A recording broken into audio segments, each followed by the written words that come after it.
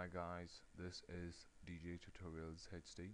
In today's tutorial, I'll be showing you how to set a cue point on Virtual DJ and how to set different cue points on Virtual DJ of the same with the same song, yeah, with one song.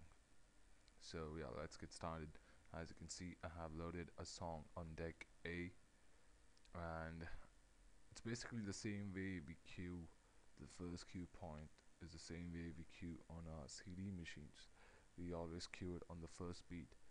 So yeah let's search for the first beat. There you go. That's your first beat. Yeah. I'm gonna cue it right just a little bit behind it. I selected one. As you can see it's cue point one. And I'll hit Q and when I hit Q button here there you go. It starts off with the first beat instantly yeah?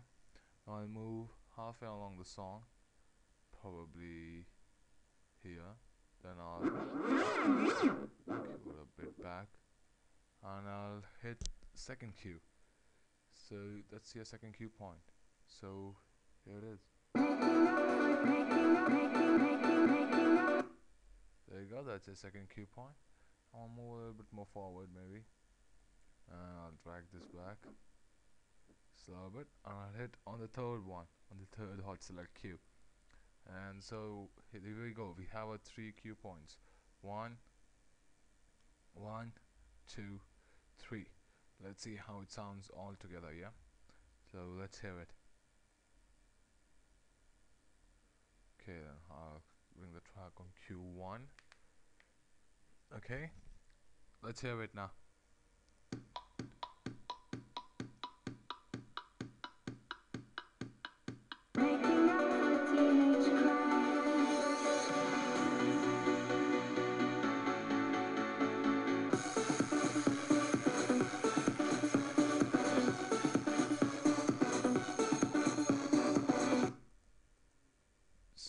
that's about it.